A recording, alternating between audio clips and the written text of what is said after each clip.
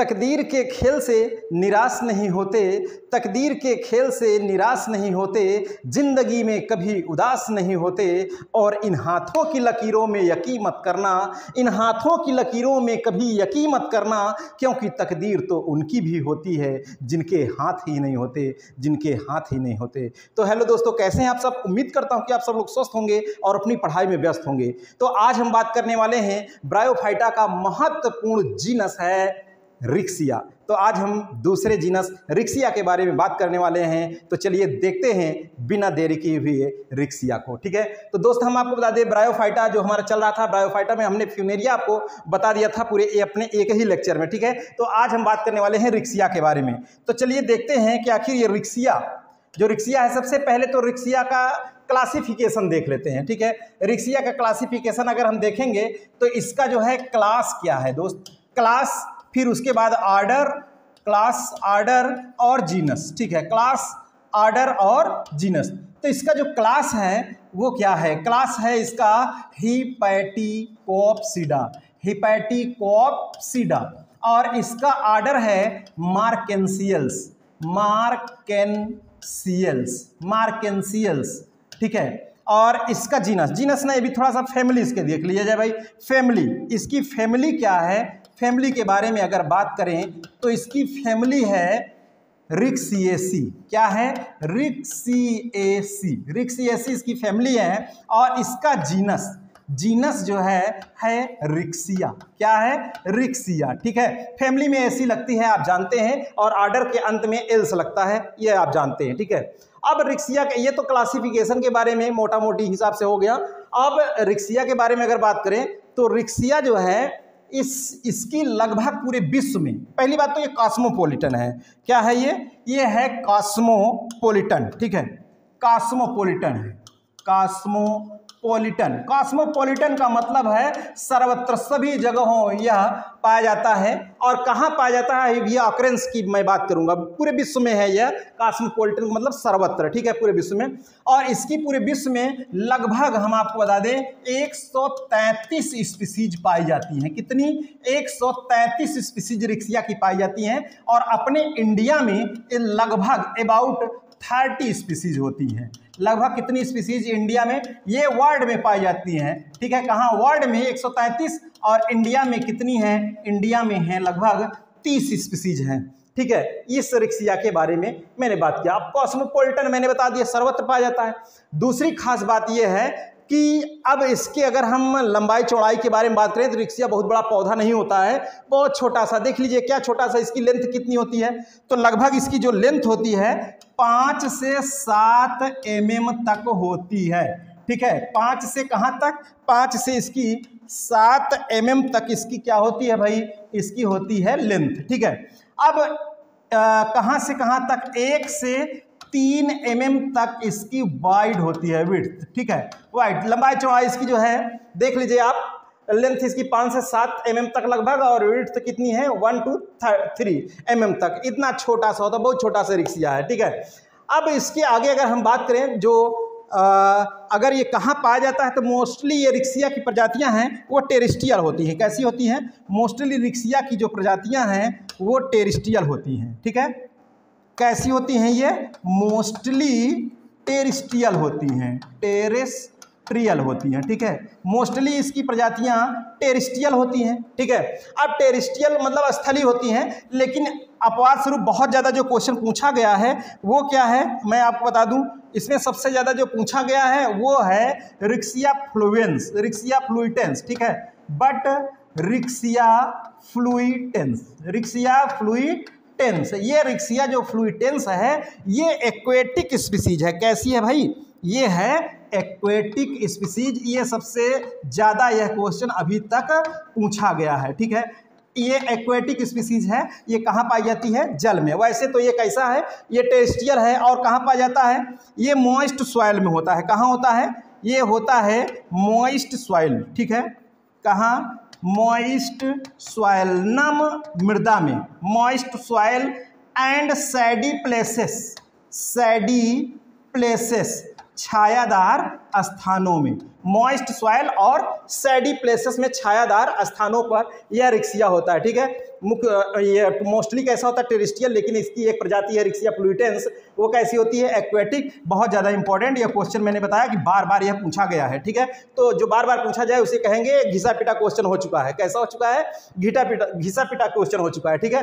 अब इसकी अगर हम बात करें, कुछ इसकी कॉमन स्पीसीज हैं जो पाई जाती हैं। कुछ कॉमन स्पीसीज हैं उसको देख लेते हैं कॉमन इसकी स्पीसीज क्या है भाई, उसको भी देख लेते हैं। तो इसकी कुछ जो कॉमन स्पीसीज हैं, देखिए ज़रा। कॉमन स्पीसीज रिक्सिया की। कॉमन स्पीसीज किसकी? रिक्सिया की। कॉमन स्पीसीज कौन कौन सी हैं? इसको बताने के लिए मैं आपको बता दूँ, कैसे आप याद करेंगे इसको?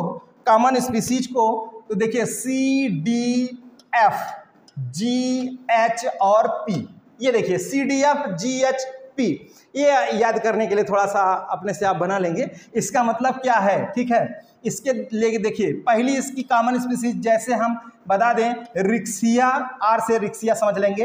रिक्सिया क्रिस्टेलाइना रिक्सिया क्रिस्टेलाइना ये स्पीसीज हो गई सी से।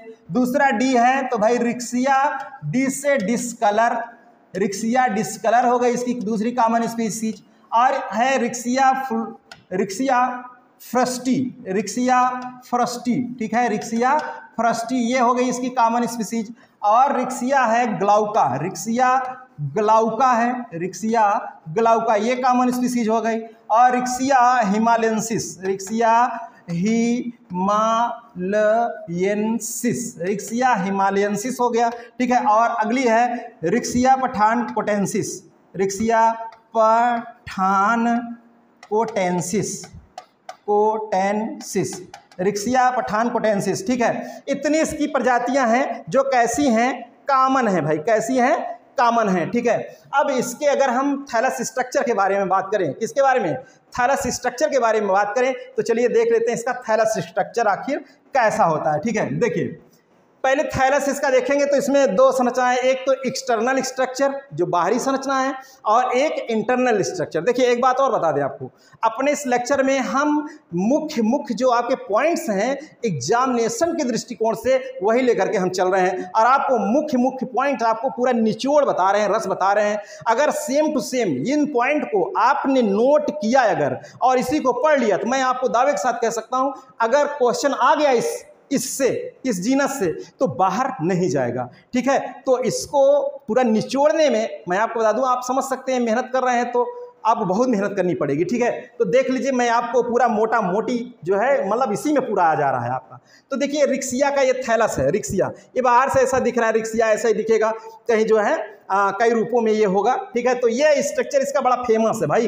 ये डाइकोटोमसली देख रहे हैं सोचेंगे कि ये तो बड़ा दिल जुड़ा है क्या इसमें माँ चारों तरफ़ से दिल दिल जैसे मेहंदी वहंदी आजकल नहीं बन रही है वैसा दिख रहा है लेकिन नहीं ये इस संरचना कहलाती स्पेशल फॉर्म है रोसेट फॉर्म क्या है? रोसेट फॉर्म और ये देख लीजिए ये question very very most important और ये पूछे जाने की संभावना है कि रोसेट फॉर्म किसके थैलस में प्रदर्शित होता है। तो रिक्सिया का जो थैलस होता है रोसेट फॉर्म में होता है। इसमें दो सरफेस होते हैं, एक डॉर्सल डॉर्सल जैसे अगर हमारे ये देखिए डॉर्सल सरफेस है, पीठ वाला, और ये है हमारा वेंट्रल जैसे हनुमान जी के पास जाते हैं और लेट जाते हैं सब, बिल्कुल जैसे आप डॉर्सल हमारा ये ऊपर भाग हो जाता है और पीठ, ये वाला पोर्सन हमारा वेंट्रल कहाँ हो जाता है? नीचे हो जाता है।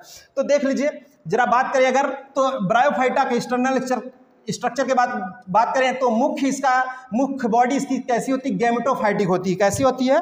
इसका पौधा गैमटोफाइटिक गैमटोफाइटिक मतलब इसका जो गैमटोफाइट है, यन है, यन, ठीक है? अब इंडिपेंडेंट होता है, स्वतंत्र होता है इसका गैमटोफाइटिक और ऑटोट्रॉफिक होता है, स्वपोषी होता है। कैसा होता है? स्वपोषी होता है टोटली मतलब ये कैसा होता है? याटोटॉपिक इंडिपेंडेंट है मतलब किसी पर निर्भर नहीं है। अब देख लीजिए, इसका, इसके बॉडी को कहते हैं थैलस ठीक है? अब थैलस क्यों कहते हैं? कि इसकी शरीर, इसका बॉडी जो है नॉट डिफ्रेंशिएटेड नॉट डिफ्रेंशिएटेड इसका मतलब है वह भिन्नित नहीं होता है। भिन्नित नहीं होता, किसमें भिन्नित नहीं होता? है रूट, स्टेम एंड लीफ। जड़ तना पत्ती में इसका थैलस, इसकी बॉडी, वह भिन्नित नहीं होती है। इस फॉर्म में दिख रही है आपको रोसेट शेप में ऐसा, ठीक है? अब देखिए, रोसेट फॉर्म में ऐसे ही स्ट्रक्चर कई हैं जो देख रहे हैं, बिल्कुल जुड़े हुए हैं। तो इसमें डाइकोटोमसली ब्रांच है। डाइकोटोमस मतलब दो शाखाएँ, देख लीजिए जरा। ऐसे दो शाखाएँ के रूप में दिख रही हैं। और ये शीर्ष वाला बिंदु कहलाता है एपिकल नोच। क्या कहलाता है? Apical notch. At apex of dichotomous branch apical notch पाई जाती है इसमें। ठीक है, क्या पाई जाती है? ये एपिकल नोच और यही जो है ग्रोविंग पॉइंट होता है इसका, वृद्धि करने वाला भाग, यही है कौन सा? एपिकल नोच। एपिकल नोच ही, इसका वृद्धि, ये एपिकल नोच है, वृद्धि करने वाला भाग है। ठीक है? अब इसमें मैंने बताया कि दो सरफेस है, एक तो डार्सल सरफेस है, एक क्या है भाई? एक तो है डार्सल सरफेस और एक है वेंट्रल सरफेस डार्सल ऊपर वाला जो भाग है, इसके ऊपर वाला भाग, इसके नीचे वाले भाग से कुछ ऐसी संरचनाएँ निकलती हैं राइजॉइड्स कहलाती हैं और कुछ इसमें स्केल्स भी होती हैं नीचे वाले भाग में, नीचे इसके भाग में, ठीक है? और ऊपर ऊपर डार्सल वाला भाग इसका स्मूथ होता है, चिकना होता है बिल्कुल, ठीक है? चिकना होता है एकदम बिल्कुल स्मूथ होता है, थोड़ा सा इसमें ग्रूव होते हैं। क्या होते हैं? ग्रूव होते हैं। थोड़ा सा बीच में, ठीक है? अब ये जो वेंट्रल भाग है नीचे, ये क्या प्रोवाइड करता है? इसमें राइजॉइड्स होते हैं और क्या होते हैं? स्केल होते हैं। इसके किस भाग में? नीचे वाले भाग में वेंट्रल भाग में। तो बहुत ही इंपॉर्टेंट ठीक है?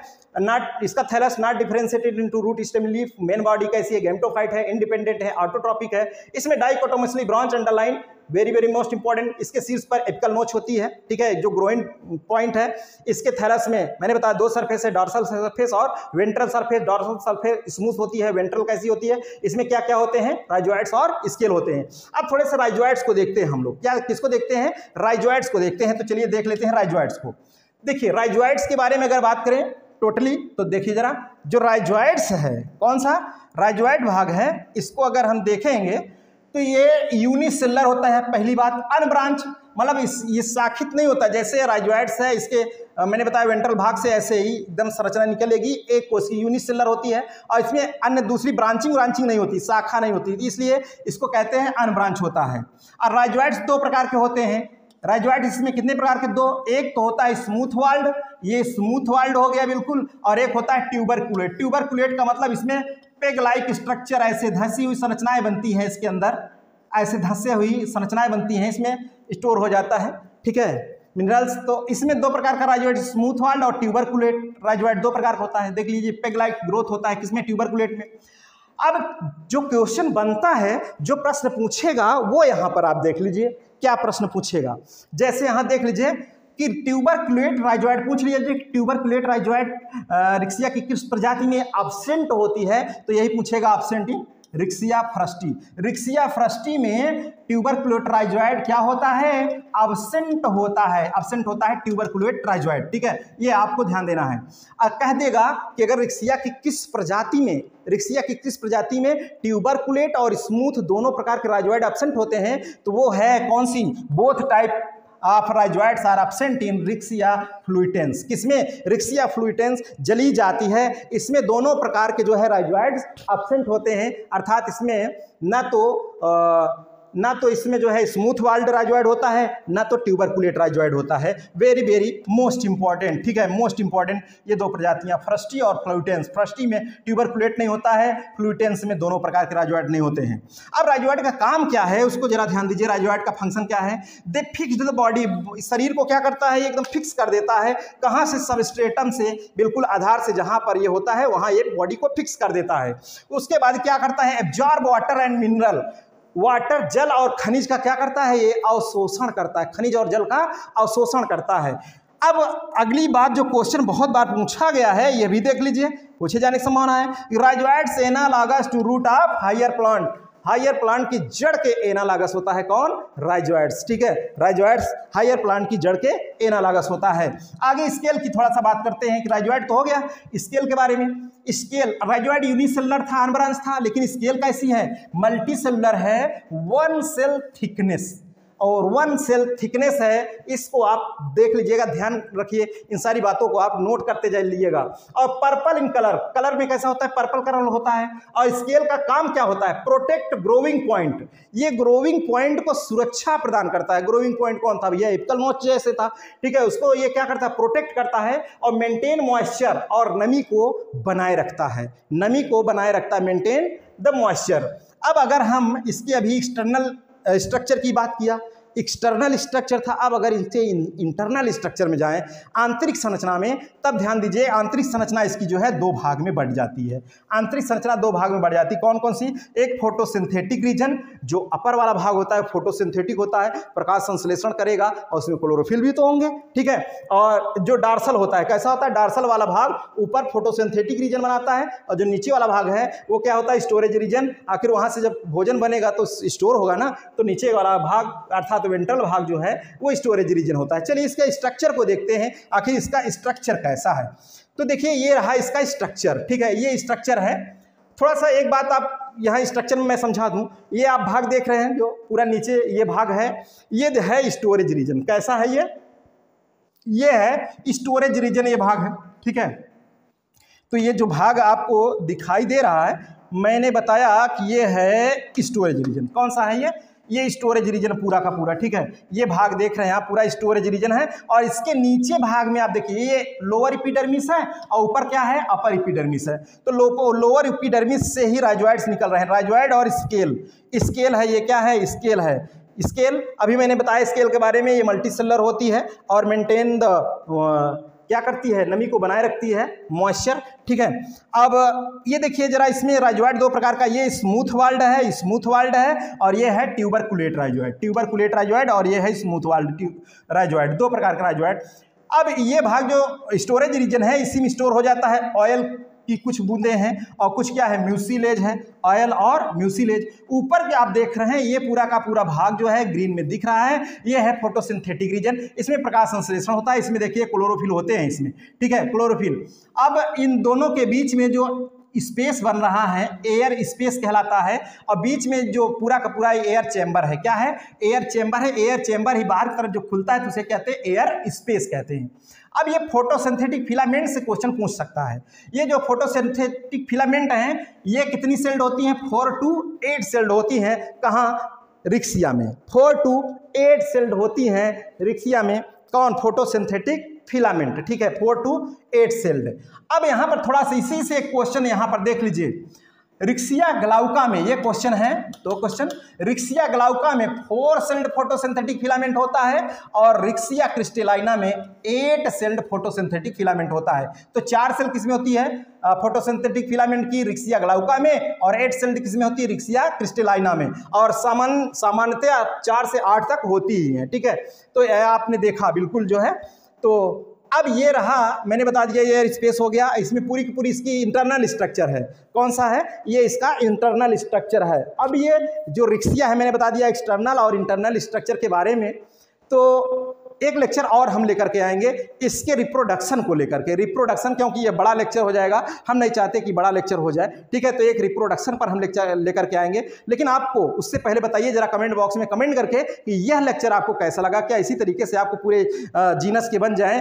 पूरे जो है लेक्चर्स क्या आपके लिए पर्याप्त रहेगा? आपके लिए बेहतरीन रहेगा? क्योंकि मैं आपको एक बेस्ट कंटेंट देता हूँ, एक निचोड़ देता हूँ और मैं दावे के साथ कहता हूँ, पूरी के पूरे दावे के साथ कह सकता हूँ 99 परसेंट कि इसके बाहर जो भी लेक्चर बता दे रहे हैं, इसके बाहर का क्वेश्चन नहीं आएगा। तो दोस्त, चलिए आज अपने इस लेक्चर में बस यहीं तक रखते हैं, फिर मिलेंगे नेक्स्ट लेक्चर साथ। Okay thank you Jai Hind.